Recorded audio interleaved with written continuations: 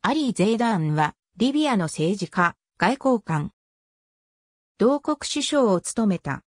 ジュネーブを本拠地とする人権派弁護士であり、リビアでは、過断なリベラル主義者とみなされている。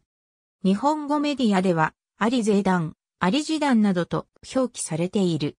1970年代より在院リビア大使であったムハンマド・ユースフ、エルマガリエフの下で外交官として活動。両人とも1980年に亡命し、リビア救済国民戦線の結成に動いた。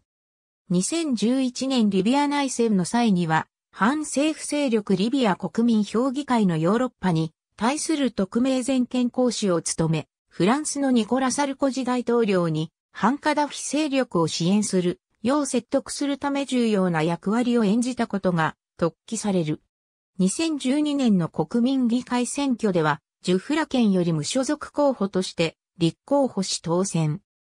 現主格である議会議長の有力候補であったが、決選投票では外交官時代の上司であるマガリエフに85対113で敗れた。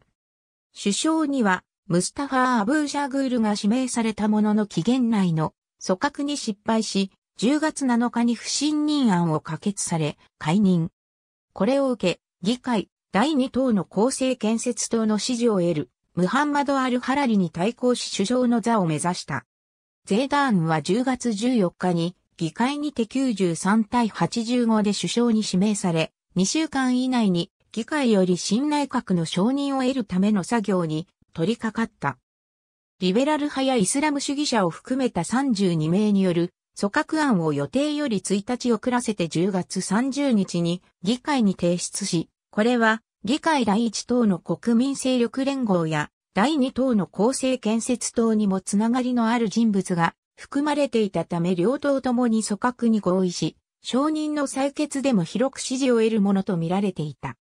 議会での採決の際に反カダフィ派の元兵士が議場に乱入したため採決が延期されるというトラブルにも見舞われたが、10月31日に議会より承認を得て、憲法制定などを使命とする移行政権の発足が決定した。賛成105、反対9、危険18という圧倒的多数での承認だったが、外務大臣など6名の閣僚に関しては反対意見がついた。11月14日に行われた式典で正式に就任。ゼーダーンは元暫定首相のマフムード・ジブリールによって作られたリベラル政党で議会第一党の国民勢力連合に所属する議会議員の支持を得ているほか、労働者団体や南部グループとつながりのある無所属議員も支持しているとされた。2013年10月10日、トリポリ市内のホテルから旧体制派の民兵組織に連れ去られ、数時間後に解放された。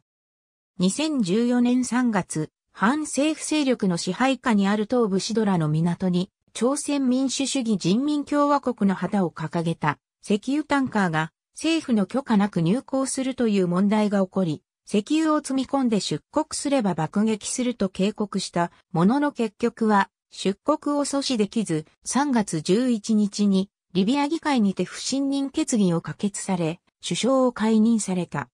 タンカーは、その後、3月16日に、キプロス南東沖にて、ネイビーシールズによって制圧されている。解任後は、治安上の理由から、検事総長が発した渡航禁止命令を無視し、ドイツに逃れた。2017年8月初めに解任後初めて帰国したが、8月13日にトリポリで民兵組織に拉致され消息がわからなくなった。22日に9日ぶりに無事解放され、翌日に再びリビアを離れた。ありがとうございます。